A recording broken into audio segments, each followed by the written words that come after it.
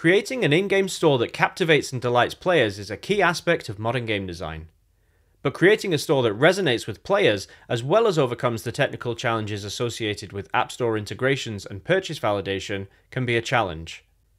Inspired by the vibrant and engaging stores in games like Fall Guys, where players can acquire everything from whimsical skins to loot boxes packed with rare items, your focus should be on crafting a store that keeps players coming back.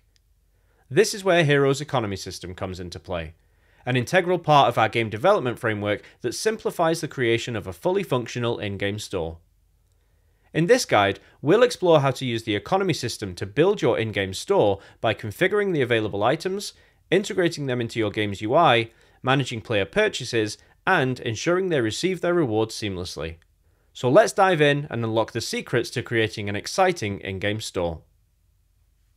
Let's start by taking a look at our server runtime code. Inside our main.go file, you'll see our familiar init module function where we register and initialize Hiro. The main thing to note here is that we're registering Hiro with the economy system, passing in the base economy JSON configuration, and specifying true to register the economy system's RPCs with Nakama. Let's take a look at the base economy JSON file. Here, inside our initialize user property, we're initializing each new player with a number of currencies. We're giving them 10,000 coins and 1,000 gems, both of which will be currencies used within the in-game store.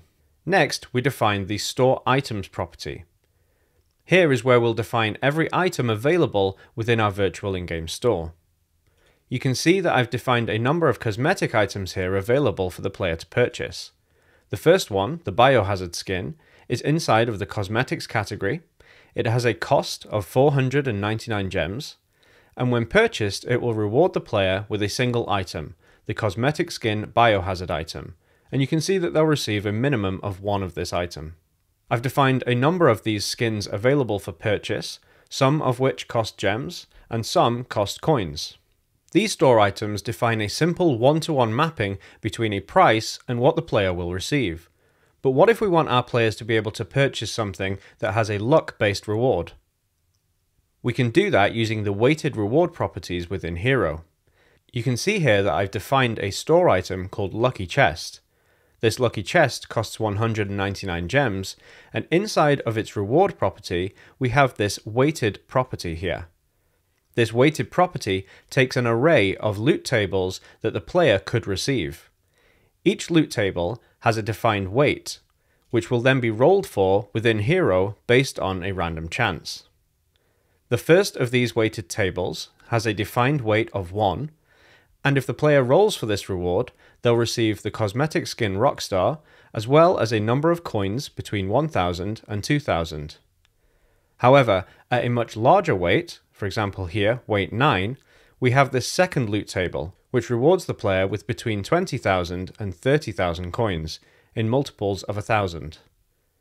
You can see that for this reward, we've defined the total weight to be 10, and we've said that the player will only receive one roll towards this reward. This means the player has a 1 in 10 chance of receiving the skin as well as the currency, or a 9 out of 10 chance of receiving the larger amount of currency. We've also defined an epic chest.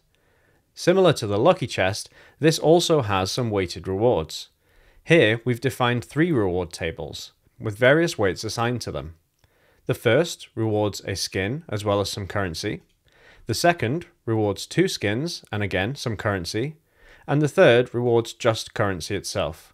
Again, we have a total weight of 10 and for each of these, you can see the defined weight means that the user will have a 2 in 10 chance of receiving this, a 4 in 10 chance of receiving this table, and again a 4 in 10 chance of receiving just the currencies themselves. Let's take a look at the client-side code now to see how we interact with the economy system's virtual store. Inside of our client code, we have an in-game shop manager class. Here, we have several properties that define various UI elements within our game, and then we have some private references to both the Nakama system as well as the economy system within Hiro. Inside of the init async function, we use Hiro's getSystem extension method to grab a reference to both the Nakama system as well as the economy system. We then define a system observer to observe any changes to the economy system. Once a change has been observed, we'll get a callback to the onEconomySystem change function defined below. And then finally within our inner async function, we'll await a refresh of both the Nakama system and the economy system to ensure we have the latest information from the server. Inside our onEconomySystem change function, first we update both our coins and gems display text within the user interface based on the values coming back from the economy system's wallet data. Next, we'll clear out any existing shop items that are already in the user interface, and then we'll iterate through all of the store items currently held within the economy system. We'll order them by name for consistency, and for each we'll instantiate a shop item prefab, passing in the various information to display in the user interface, such as its category, its name, as well as its cost values. And finally, we'll attach an event handler to the onClick function so that we can initialize a purchase action whenever the user clicks on the item in the store. Inside the onShopItem click function, we'll get a reference to the item ID the user is trying to purchase. With this, we'll call the economy system's purchase store item async, passing in that item ID. The response of this will be a purchase acknowledgement which will contain information telling us whether or not the purchase was successful, and if so, what the reward was for that particular purchase. As well as calling the purchase store item async function, We'll also refresh the economy system to make sure we have the most up-to-date information from the server. And then we'll show the reward panel, passing in the returned reward object so that we can display to the user what they received. If an error occurred during the purchase, we'll show the error panel to the user. Now let's take a look at what this looks like in our game. You can see that we have our shop window open here, our user currently has 10,000 coins and 1,000 gems, which is what we configured inside the initialize user section of the economy configuration within Hiro. Next, you can see all of the skins that we defined inside our economy JSON file, as well as both the epic chest and the lucky chest weighted reward table store items. Let's start by purchasing the wolf skin for 299 gems. You can see that the purchase was successful and we've received one wolf skin item. You'll also notice that our gem count decreased by 299. Next, let's purchase the Rockstar skin for 999 coins. Again, we received the Rockstar skin item, and our coins have depleted by 999. Next, let's try and purchase one of the weighted reward chest options. We'll go with the lucky chest option. Here you can see that we've received 25,000 coins.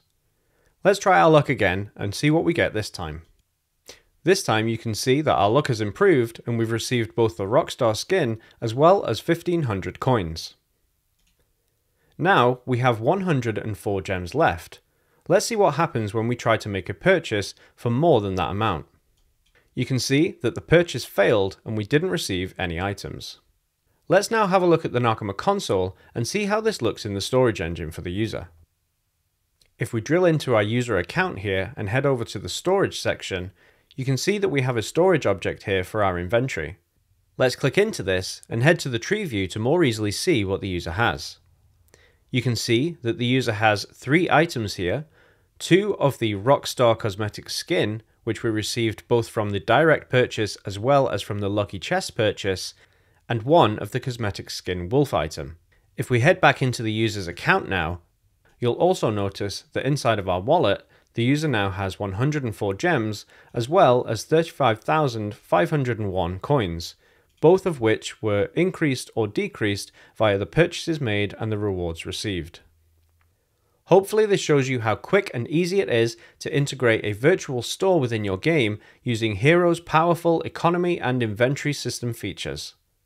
Our Hiro Game Development Kit makes implementing complex meta gameplay systems, such as the one you've seen here, extremely quick and easy, with our configuration driven and composable meta systems such as inventory, economy, energies, progression, and more. We empower developers to add engaging gameplay features at breakneck speed, cutting development times by as much as 12 months. If you'd like to learn more about how Hiro can help power your next game, head on over to heroiclabs.com/hiro where you'll find all the information you need to get started. If you have any questions, please reach out to us on our community forums at forum.heroiclabs.com. Thanks for watching, and we'll see you in the next video.